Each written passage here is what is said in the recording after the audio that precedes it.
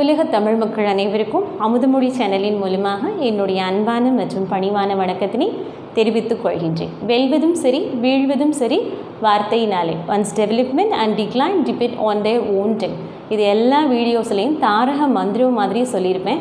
ஏன் அப்படின்னு சொன்னால் இது என்னுடைய அனுபவபூர்வமான ஒரு உண்மை. நீங்களுமே நிறைய பார்த்துருப்பீங்க. ஒருத்தர் ஹார்ட் அண்ட் ஃபாஸ்ட் ரூல்ஸ் மூ மூலமாகவோ கம்பல் பண்ணியோ ஒரு விஷயத்தை நம்மளால் கண்டிப்பாக சாதிக்க வைக்கவே முடியாது. அன்பான வார்த்தைகளால் நம்மளால் பல விஷயங்களை சாதிக்க வைக்க முடியும். இன்றைக்கி வீடியோவில் என்ன பார்க்க போகிறோம் அப்படின்னு சொன்னால் ஒரு நகைச்சுவை விருந்து. வாரியார் சுவாமிகளினுடைய நகைச்சுவை விருந்து. ஆஹா ஆன்மீகம் பேச போகிறாங்களே அப்படின்னு சொல்லி வீடியோவெல்லாம் ஸ்கிப் பண்ணிடாதீங்க. இன்றைக்கி இந்த நூற்றாண்டினுடைய மாமனிதர் அமுதமொழி அரசர்னு சொன்னால் வாரியார் சுவாமிகள் தான். வாரியார் சுவாமிகள் சொல்லாத விஷயங்களே கிடையாது. இன்னும் எத்தனை நூற்றாண்டுகள் ஆனாலும் வாரியார் சுவாமிகளினுடைய சொற்பொழிவிலிருந்து நாம் கேட்கக்கூடிய விஷயங்கள் ஒவ்வொன்றுமே மனித சமுதாயத்தை கண்டிப்பாக பண்படுத்தும். அப்படி அவருடைய பேச்சில் கூட்டமே மகுடிக்கு கட்டுப்பட்டவர்கள் போல மயங்கி கிடந்தார்கள் என்பது உண்மை. உலகமெல்லாம் சென்று அற கருத்துக்களை சமய கருத்துக்களை இல்லைங்க அற கருத்துக்களை பரப்பிய நல்ல ஒரு மனிதர். அறுபத்தி நாலு நாயன்மார்களில் ஒருத்தர் அறுபத்தி நாலு நாயன்மார்களாக சேர்க்கவும் பெற்றிருக்கிறார். இந்த வாரியார் சுவாமிகளினுடைய நகைச்சுவை விருந்தை தான் நாம் இன்னைக்கு பார்க்க போகிறோம் நான் சின்ன பிள்ளையாக இருக்கும்போது வாரியார் சுவாமிகளை பார்த்துருக்கேங்க. நாங்கள் சின்ன பிள்ளையாக இருக்கும்போது தேவகோட்டையில் ஒரு ஸ்கூலில் படித்தேன் அப்போ வாரியார் சுவாமிகள் வந்திருக்காங்க. ரொம்ப சின்ன பிள்ளையாக இருக்கும் பொழுது எங்கள் அம்மா கையை பிடிச்சிட்டு வாரியார் சுவாமிகள் வந்திருக்காங்க வந்திருக்காங்க. அவருடைய பேச்சை கேட்குறதுக்காக ஒரு கோயிலுக்கு கூட்டிகிட்டு போயிருக்காங்க. ஆறடி உயரம் ஆஜானுபாகுவான தோற்றம் நல்ல ரோஜாப்பூ அதையெல்லாம் போட்டுட்டு உட்காந்து கம்பீரமான ஒரு வார்த்தைகளை ஆரம்பித்து பேசுவார்.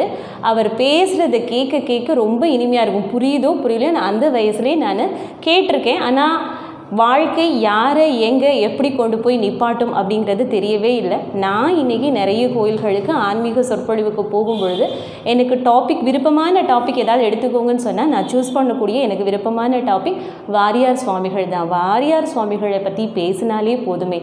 மக்களினுடைய மனசை எவ்வளவோ பண்படுத்திடலாமே. வாரியார் சுவாமிகள் கிட்ட இன்னொரு ஒரு ஸ்பெஷலான குணம் என்ன அப்படின்னு சொன்னால் வாரியார் சுவாமிகள் பேசிக்கிட்டு இருக்கும் பொழுது நாம் ஏதாவது சந்தேகம்னு சொன்னால் எந்திரிச்சு நின்று நின்று கேட்கலாம். அதே போல் வாரியார் சுவாமிகள்கிட்ட அவரும் ஏதாவது கூட்டத்தில் சின்ன பிள்ளைங்கள் இருந்தால் கேள்வி கேட்பார்.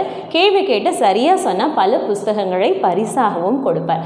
அப்படி அந்த வாரியார் சுவாமிகளினுடைய நகைச்சுவை துணுக்கிலிருந்து சில சுவாரஸ்யமான விஷயங்களை இன்றைக்கி வீடியோவாக போடுறேன். திருவிளையாடல் படம். நாங்கள் சின்ன பிள்ளைங்களாக இருக்கும் பொழுது ரொம்ப ஃபேமஸாக ஓடின படம்.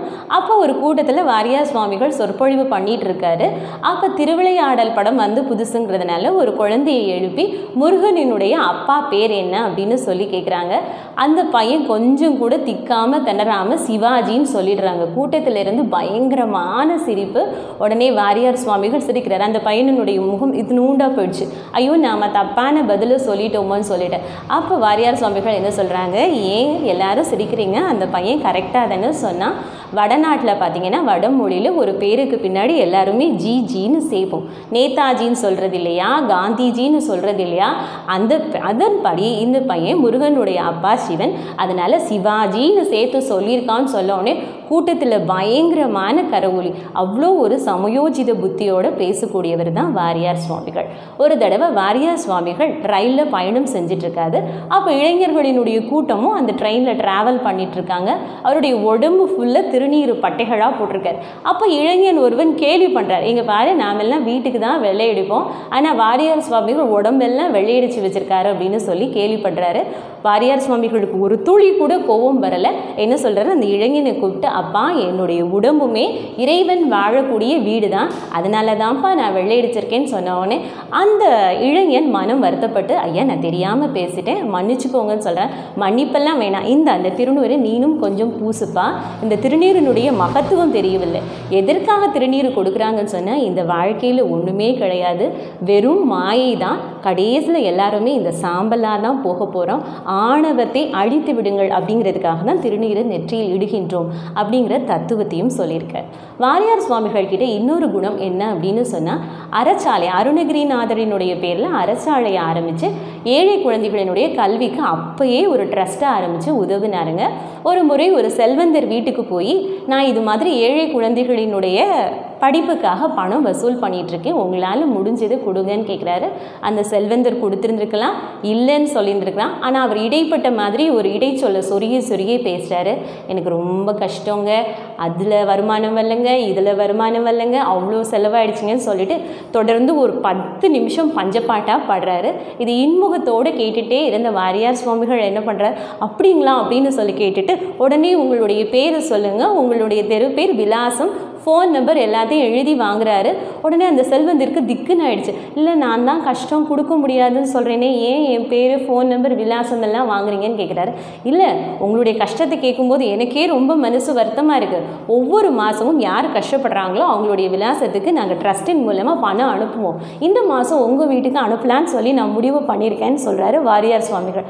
இதை கேட்ட செல்வந்திரனுடைய மனசு சுருக்குன்னு விழிச்சிருச்சு. அச்சோ நம்ம தப்பாக பேசிட்டோம்னு சொல்லி தன்னுடைய தவறை மிதமாக அழகான பேச்சின் மூலமாக உணர்த்தியவர் தான் பாரியார் சுவாமிகள்.